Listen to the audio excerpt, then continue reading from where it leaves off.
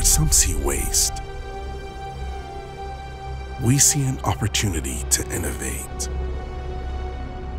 Where some see landfills, we see an opportunity to reinvent.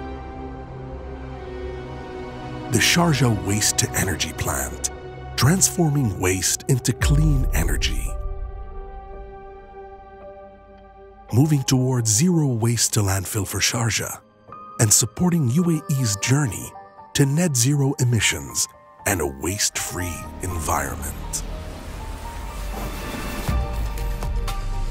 Bringing together BEEAH's excellence in waste management, Masdar's leadership in clean energy.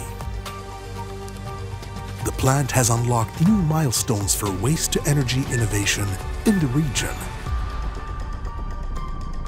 In just one year of operations, the plant has processed 100,000 tons of waste, while generating power enough for 2,000 homes. Following international best practices, the plant's state-of-the-art flue gas treatment system has treated 463 million cubic meters of air, enough to fill the Burj Khalifa 255 times over, while reaching the highest rates of thermal and boiler efficiency in the industry. Now, the Sharjah Waste-to-Energy plant is on its way to processing 300,000 tons of waste, while generating 30 megawatts of power every year. Enough power for 28,000 homes.